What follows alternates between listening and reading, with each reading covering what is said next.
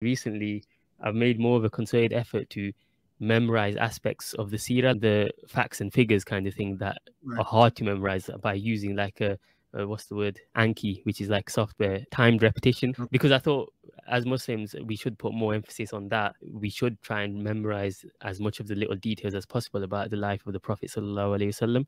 But in terms of everything else, it's good to just have a general grasp of it.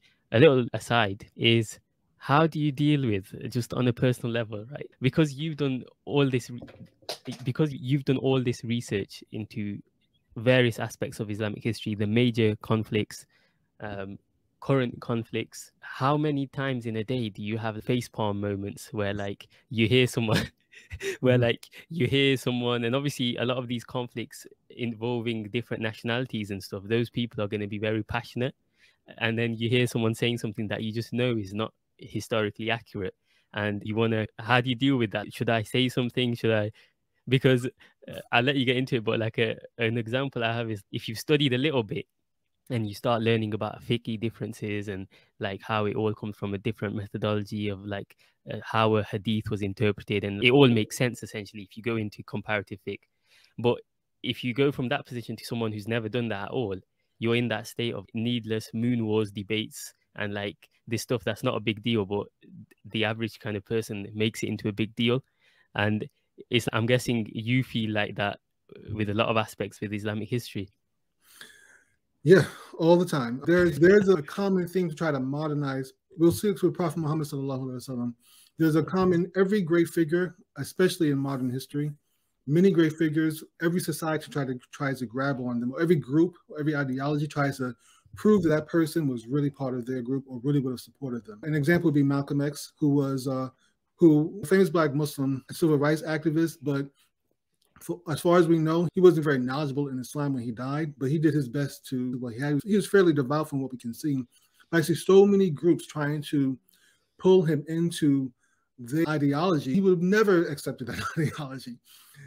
Same with Martin Luther King, who was, even though he was Christian, he was a devout Christian. People trying to prove that he would have been into all of these very liberal ideologies that he would probably never have been of since he was a very conservative Christian.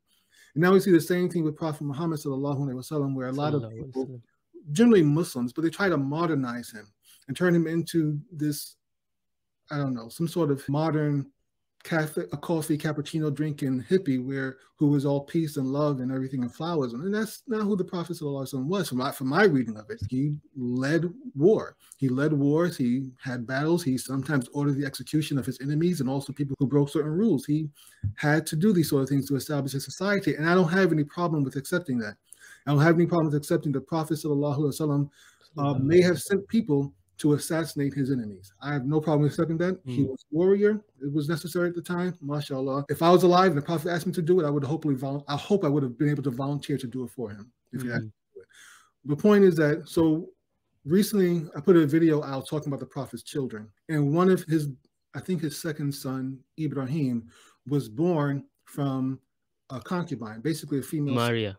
Yeah, Maria al-Qibtiyya, who was a gift from the Egyptian king, or the, no, not the Egyptian king, the Egyptian patriarch, Christian patriarch in that in Egypt. Was it Muqawqis or? Yeah, something like that. Yeah, yeah. he wound up being beat by Ibn As later on. But yeah, he she was a gift basically. And I know in our modern world we don't like the idea of concubine. But during the prophet's time and up until very recently, and as for historically speaking, it wasn't really a big deal. It wasn't considered a big deal. She was mm-hmm. his concubine. She was she, he never married her. She was a slave. She never accepted Islam. For as there are there are some disagreement about whether she accepted Islam. Be fair about that one. But as far as I'm aware, he never married her. She's not considered part of his list of wives in all the Sira that I've seen. And he had and I wrote that he had two concubines actually that we know of. He also had a Jewish woman who was also one of his concubines. Serene yeah, I think Saria something like I can't remember her okay. name right now, but she wound up, I believe she wound up accepting Islam later on. There's more concrete evidence that she accepted Islam than Maria did. And also the prophet tried to marry her, but she refused. From other, the prophet wanted to marry her and asked her to marry him, but she said, no, the, situ- the, the current situation we have is fine. So she was happy just being a concubine, not having to accept the responsibility of being a wife. She was happy with just being a concubine. But the point of the matter is he had children with he had a child with Maria, and I mentioned that she was his concubine, and in the notes or in the comments, someone said the prophet didn't have any concubines; he married all of his wives.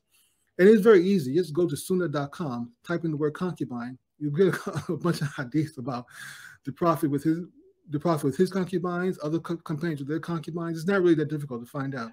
So I just took this link and pasted it over there. I just said, please do some research. It's not that difficult to do these sort of things. Mm. And I don't think there's a reason, I don't think there's a need for us to try to modernize the prophet to fit with modern standards. We assume, I can go so far into this, but I completely agree. And this is so, it was our ideologies that, that we have now didn't fit with back then. The things that we accept now as normal in society now would have been mind blowing to go back then, and they would have thought they would think that we are crazy. They say the things that we accept now as Muslims and in society as general. Yeah, and it's so sad to see how currently in on the Muslim speaker circuit, let's say, mm-hmm. how it's just this one version of Islam and the Prophet sallallahu alaihi wasallam that's portrayed, and it gives it's giving a whole generation like a warped idea of yeah. the reality and it's like soon like it might get to a stage where that's so common. Even now sometimes it's like the reality is so much of a shock to people that they're, not even willing to believe it. And it's which is why alhamdulillah there is a relatively good kind of reactionary movement let's say in terms of ustad daniel haqiqatjou and how people like the unapologetic way he can defend certain things like slavery in Islam and like how he dismantles the philosophies. Bismillahir Rahmanir Rahim.